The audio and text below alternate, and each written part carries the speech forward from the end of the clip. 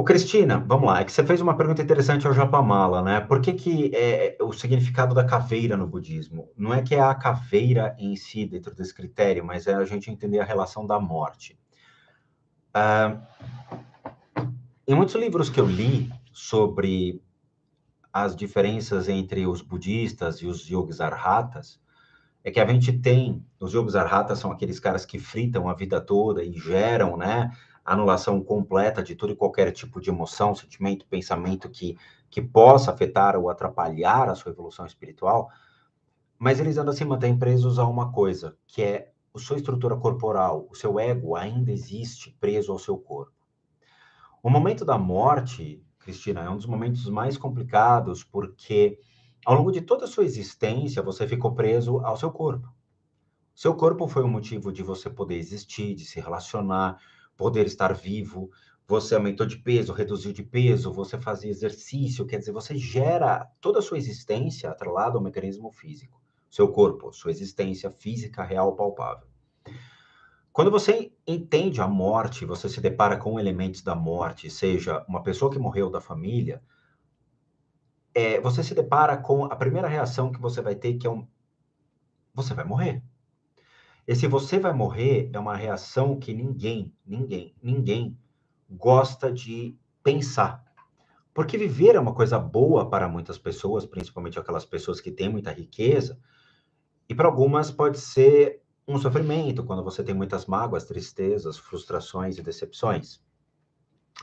Mas quando você, então, começa a, a se deparar com esse fenômeno da morte, entender que a vida é simplesmente um mecanismo para você poder existir dentro de um período, se relacionar, conhecer pessoas, poder viver, poder se divertir, poder fazer o bem, poder ajudar as pessoas, você entende a correlação entre a sua existência e a passagem da morte.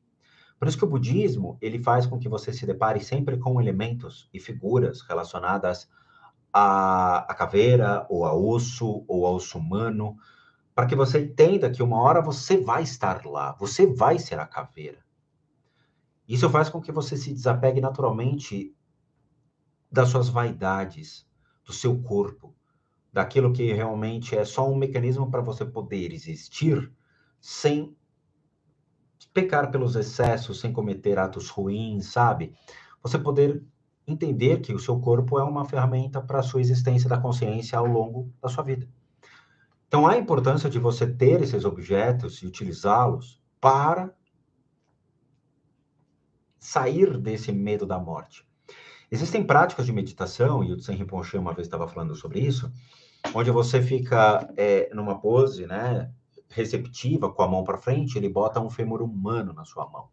E aí você tem que meditar olhando para aquele fêmur humano, sem medo, sem qualquer tipo de sensação ruim, que venha a ter, mas como uma sensação livre e limpa de correlacionar aquilo a você em um futuro. Por isso que o budismo ele utiliza muito essa ideia dos princípios da morte, entender a correlação entre viver e o morrer. Tá? Então não é uma questão de ter medo ou achar bizarro ou achar nojento. É uma sensação de eu entendo, reconheço, aceito e passo então a ter uma vida mais leve, livre, buscando respeitar a minha mente, o meu corpo ao longo de toda a minha existência no planeta. É simplesmente isso, tá? Não busque é, achar isso meio freak, porque não tem uma conotação freak.